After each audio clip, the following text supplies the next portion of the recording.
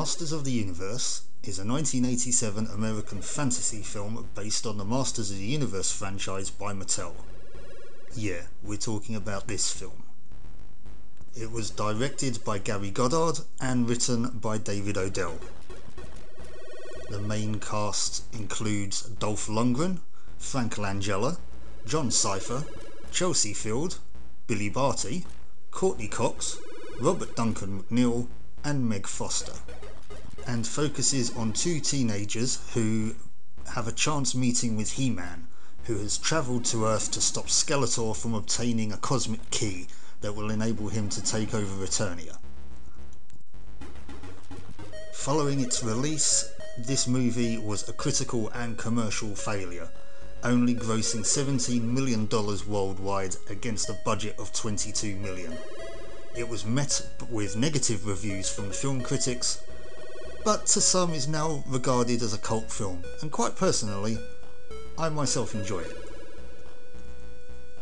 Not a lot more to say about this movie, to be perfectly honest with you. Uh, it takes place on Earth instead of Eternia, and so there's a weird mishmash of fantasy and modern stylings that are going on, which is probably what led to its failure. But despite that, there was a video game released by Gremlin Graphics in 1987 for the ZX Spectrum, the MSX, the Commodore 64, and of course the reason we're here, the Amstrad CPC 464.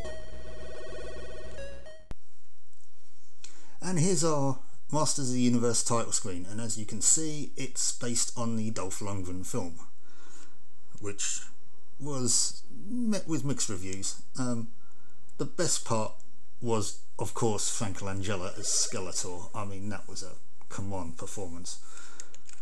So, um, okay. I'm He-Man and I seem to have a gun. But then again, in this incarnation, he did, didn't he?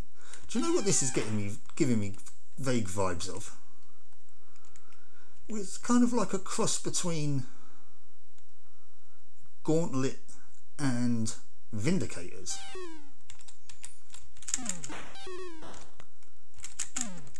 So these are the, I don't know what you'd call them really, are these kind of like stormtroopers? Skeletor's stormtroopers? I tell you what they can do though, they can sod right off. Uh, okay. Oh, hello. He-Man picking up signals from a scrapyard. Meet me there. I can only just about read that. Okay. Oh, it says north up. I mean, I think is this is that the way? Oh, hello. Is that the way I need to go then? Is I just need to go north? Is that what that arrow is telling me? Uh, okay, that increased my health. That's nice. Now, I like the idea that I can just avoid these enemies. Oh, not if that happens, I can't. Uh, I don't need that health pickup right now.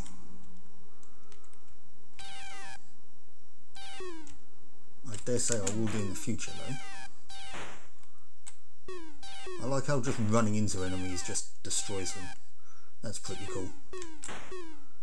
Takes all of the effort out. Right, okay, well I guess we're going down then.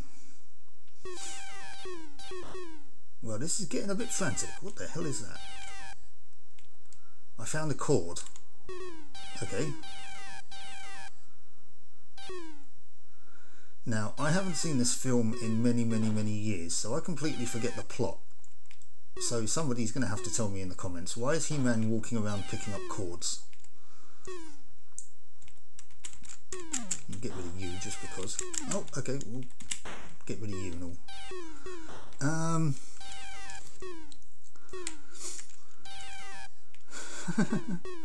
Come on, take me to another screen, at least. Right, here we go. Uh, I can't go north.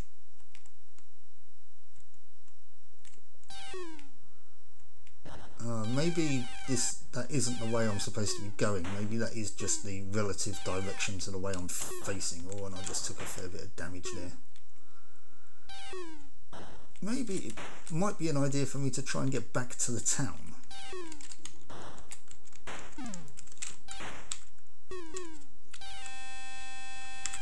Oh, that was a horrible noise. Right, sorry, that was my fault. I paused it. I was thinking that maybe if I paused it I might be able to access some semblance of a map but no. Right definitely need that. Oh that's a full health pickup. Right okay well we'll avoid that then. I think is this where I came in? It might have been. I don't necessarily need to avoid these guys. I can't see now you can't shoot whilst you're on the move. He-Man can't shoot from the hip as it were. So you kind of you can face diagonally and you can move diagonally, but you can't shoot diagonally, which is unfortunate.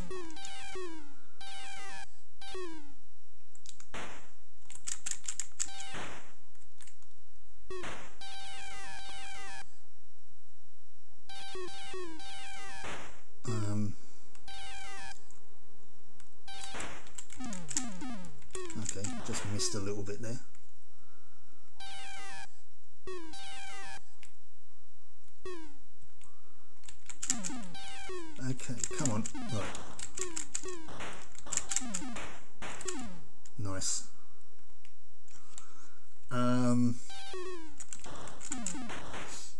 Pew pew me? Oh, this, this is the way I came already. Right. Weird, because it's like a perspective shift. Well, not perspective as such, but a sort of orientation shift.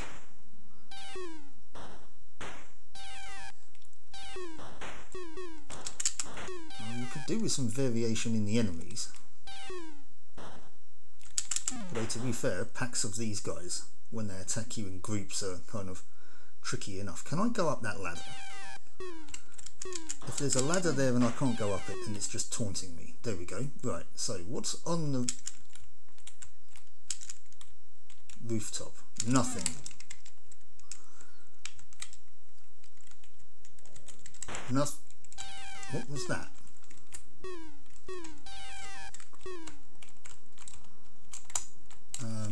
Don't know. I think I... Uh, okay, somehow I've got full health again. Or did an enemy just spawn right next to me and I just walked into it? I've just realised I also have a life counter, so that could have been the fact that I just lost all of my health and I lost a life, and now I've kind of walked into a dead end. Right, okay.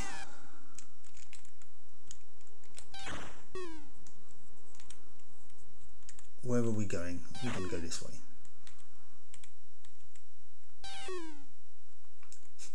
I, I like that sound effect when they spawn in. It's quite cool. I like that. I've always liked that sort of sound effect. It's boo! Oh, hello again. He-Man key traced to shop called Charles. Meet me there. Uh, again, okay. Why is the shop called Charles?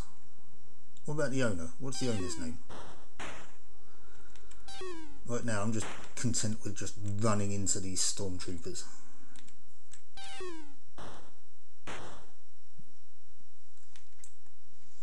Can I go up this ladder? No. Is, was that the same ladder? Oh, this is... Oh, hang on. Let's go... What's up here? Oh, is this the way into the woods? He-Man just tanking damage like a boss. Because he is a boss. Does this look familiar? I don't know, I can't remember now.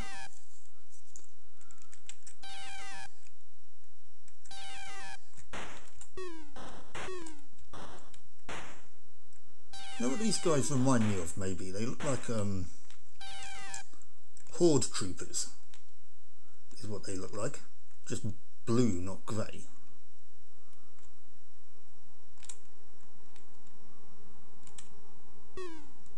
Uh, hello, what are you? I would very, very much appreciate if you went away. Don't like the idea of flying thingies. Are making good. Well, are we making good progress? I don't know. What I'm getting so far though is very confused. I don't know where I'm going, what I'm doing. I avoided those quite nicely though.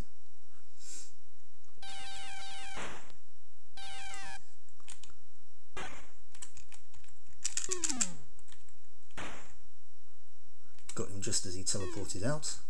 Another weird flying thing which caused one of the uh, troopers, I'm going to call them troopers, as in horde troopers, um, caused one of the troopers to get shot at. But... Right, now we have two flying things and two troopers.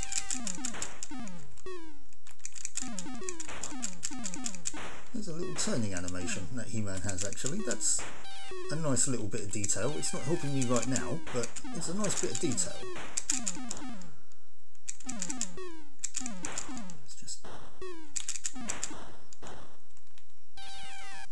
Right, let's get out of this area.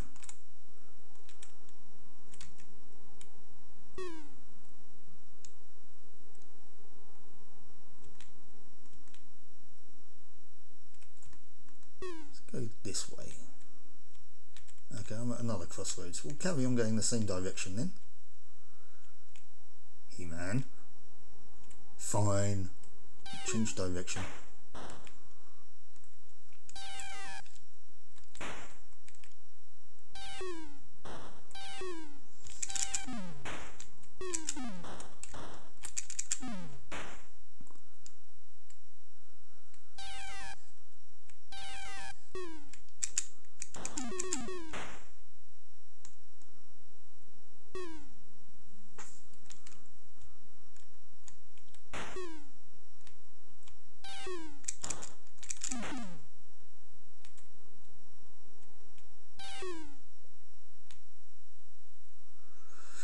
Right, do you know what?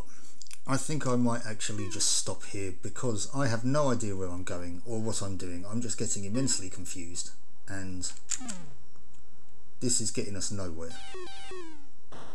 So I'm going to leave it there guys. Um, but let's talk about it.